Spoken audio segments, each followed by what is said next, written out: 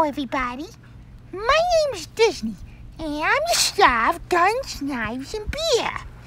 And today I'm just sitting here on the grass, enjoying the day, and telling you that we're coming back. That's right.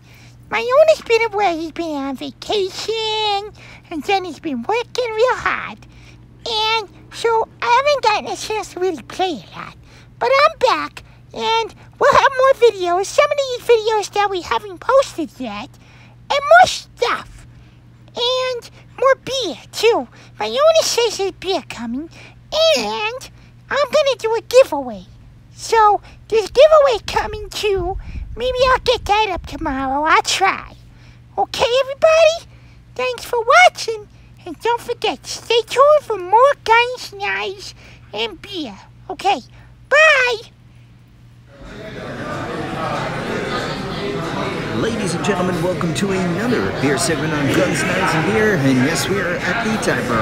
And today we have this. That's a good looking beer right there. Not bad at all. Nice head on that thing. Look at that. This is a Santa Fe 7K IPA. 7K is 7,000 feet. Don't know why. I don't think Santa Fe is at 7,000 feet. But anyway. Uh, out of New Mexico. Santa Fe Brewery. Out of New Mexico. Clocking in at 7.0% alcohol by volume. Uh, looks good.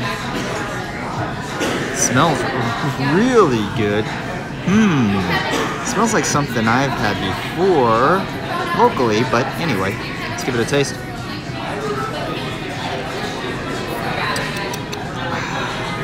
Oh yeah.